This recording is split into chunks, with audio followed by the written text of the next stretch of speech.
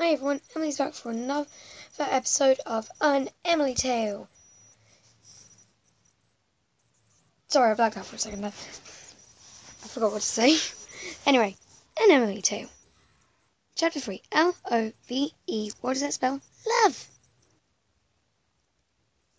Hi, Pedicle. MC, I miss you. Oh, crap. Give me a second, guys. MZ, I missed you so much whilst you were gone. Babe, nice to see you again. What's up, honey? Hey, Reba. Hi, Key.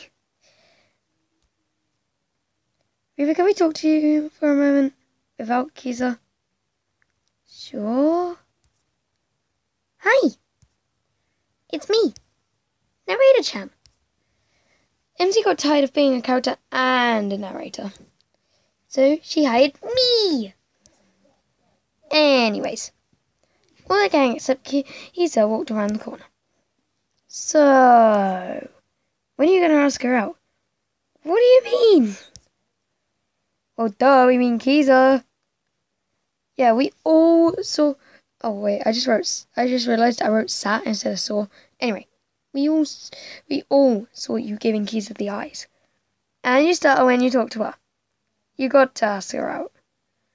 Then we can turn a double date into a date. Calm down.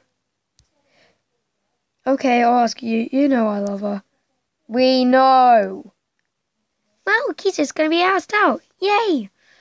Sorry that was a bit short, but I've got an extra one. Guys, look, it's mini error with a paintbrush in his head.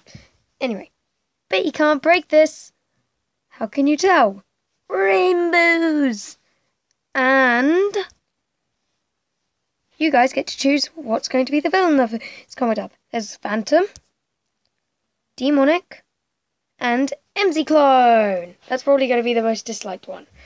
But you can choose MZ Clone, Demonic, or Little Tiny Phantom. And tell me which one you want in the next uh, video, because there's going to be yeah, a big surprise owl, a big surprise Comment down below if you like Phantom, Demonic, or MZ.